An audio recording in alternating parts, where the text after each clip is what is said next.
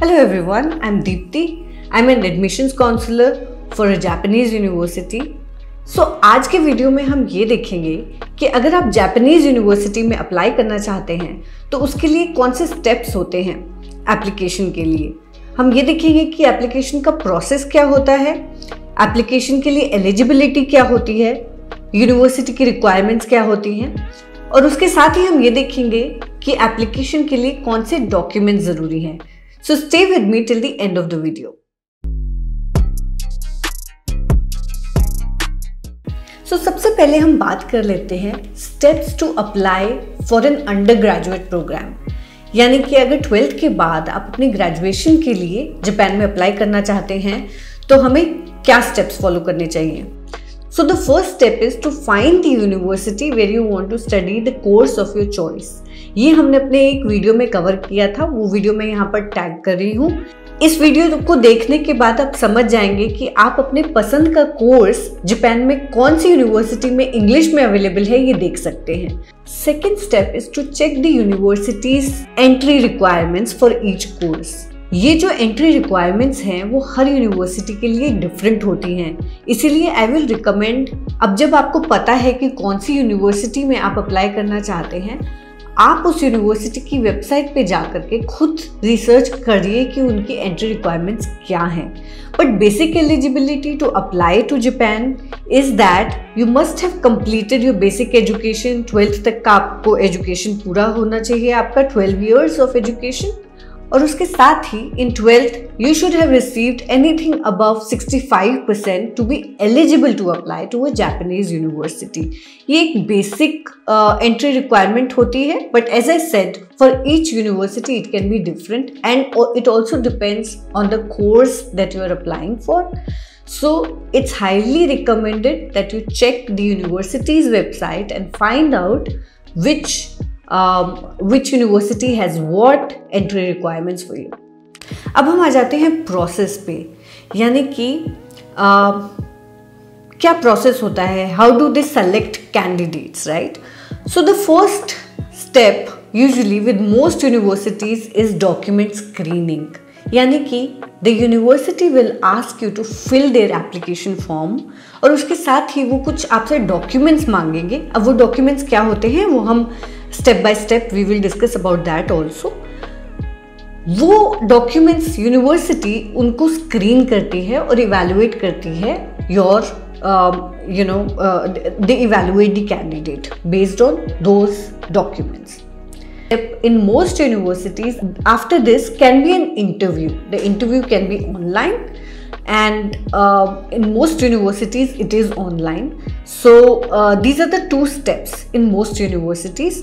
but as i said for each university it is uh, it's it can be very different there is another way of ensuring your admission in japan pre arrival admission जिसको हम कहते हैं pre arrival आपको पता लग जाएगा कि आपकी आ, आपका एडमिशन हुआ है या नहीं यूनिवर्सिटी में और उसका तरीका है to appear for an examination called E J U Now this EJU stands for Examination for Japanese University Admissions for International Students. EJU के बारे में हम एक डिटेल्ड वीडियो कुछ टाइम में बनाएँगे। वो आ, लेकिन मैंने थोड़ी बहुत EJU के बारे में बात अपने इस वीडियो में की थी जो कि मैं यहाँ पर टैग कर रही हूँ। लेकिन हम एक डिटेल्ड वीडियो भी बनाएँगे। उसके साथ ही हम एक EJU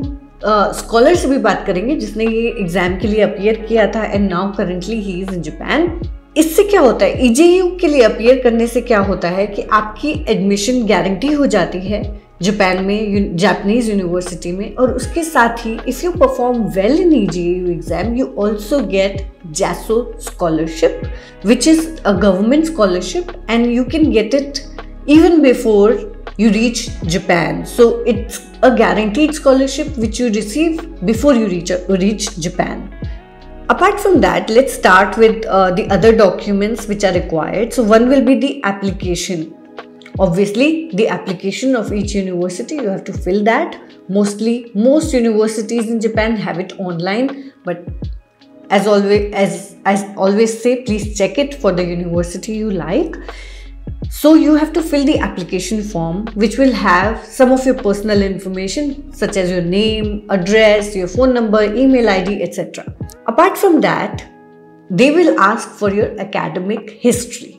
Academic history का मतलब होता है कि आपने कहाँ पे कौन से स्कूल में कौन सा ग्रेड किया और वहाँ के ट्रांसक्रिप्ट वहाँ पे तीन साल की आपसे ट्रांसक्रिप्ट मानी जाएँगी टेंथ की इलेवेंथ की और ट्वेल्थ की टेंथ और इलेवेंथ की तो आप दे सकते हैं because you have already cleared it and you have the final transcript with you but what about twelfth क्योंकि आपने ट्वेल्थ तो अभी जब आप अप्लाई करेंगे जापान में you have to apply well in advance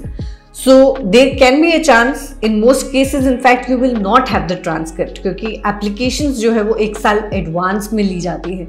या फिर सिक्स मंथ्स एटलीस्ट एडवांस में ली जाती हैं.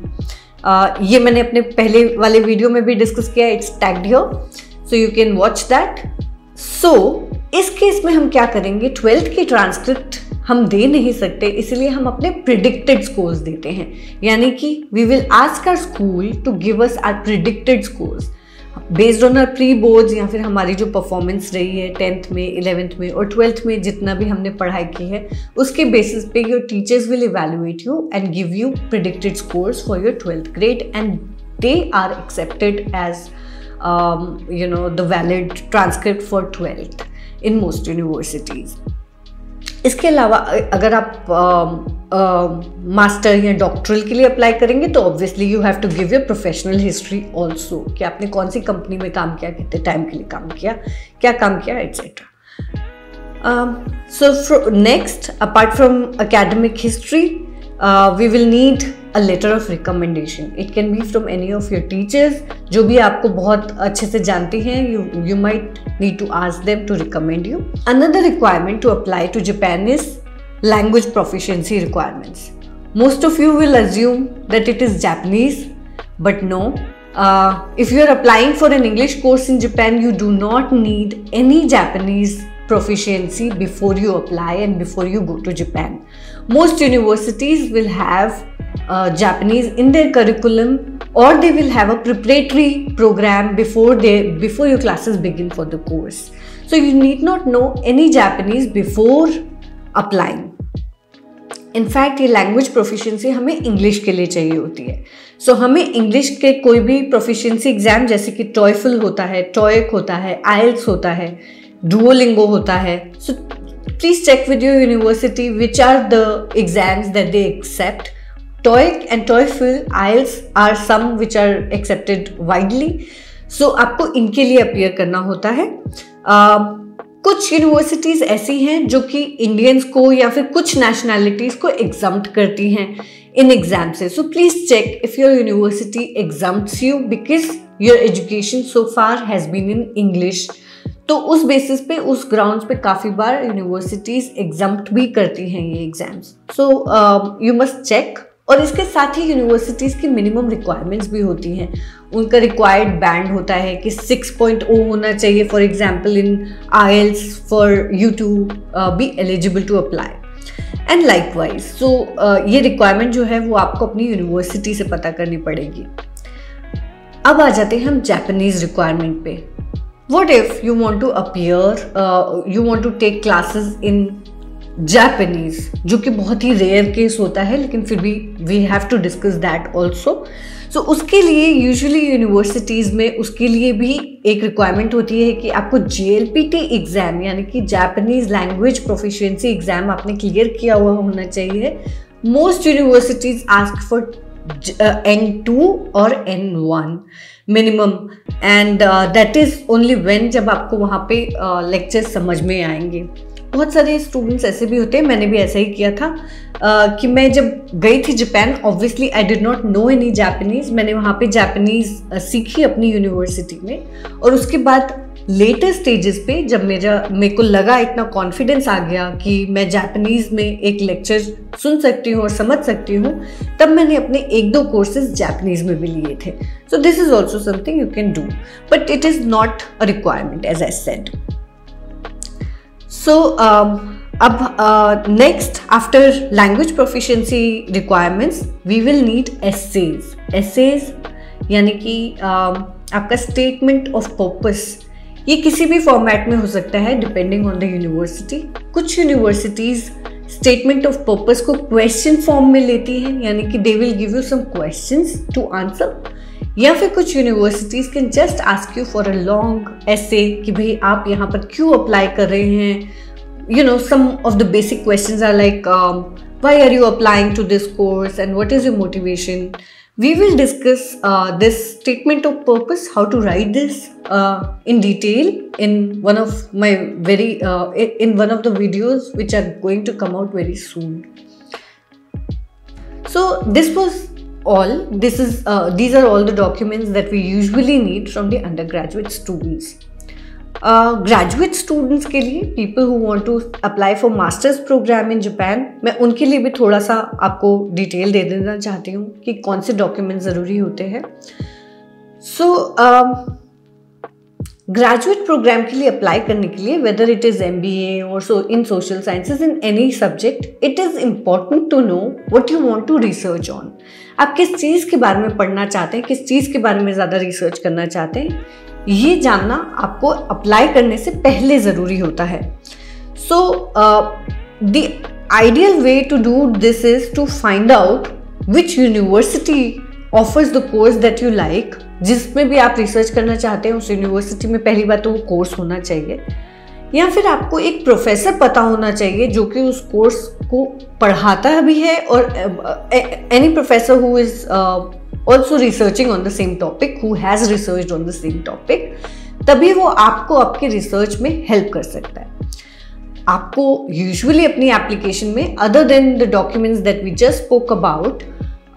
उसके अलावा आपको अपना रिसर्च प्लान भी सबमिट करना होता है। और इसीलिए ज़रूरी है कि आप ये जानें कि आप कौन से प्रोफेसर के साथ काम करेंगे। लेकिन इंडिया में बैठे हुए या फिर कहीं और पर बैठे हुए आपको कैसे पता लगेगा कि कौन से प्रोफेसर हैं who are working on the same research topic as you so for that we can refer to a website the website is called C P This is basically a database service for material in Japanese academic libraries. यहाँ पे सारे ही Japanese works है और English में भी हैं, बहुत सारे जो कि पब्लिश्ड है. So this is basically a national database of a kind जहाँ पर सारे की सारे रिसर्च पेपर्स और आर्टिकल्स सबमिट किए जाते हैं अपलोड किए जाते हैं। So you can visit this website and find out who is researching who all have written on the topic that you are interested in and get in touch with that professor and then move ahead with your application that is my suggestion so I hope this video help you to understand how to apply to a Japanese university and what the requirements are For more such videos, please follow me on this channel, like and subscribe to this channel. Thank you.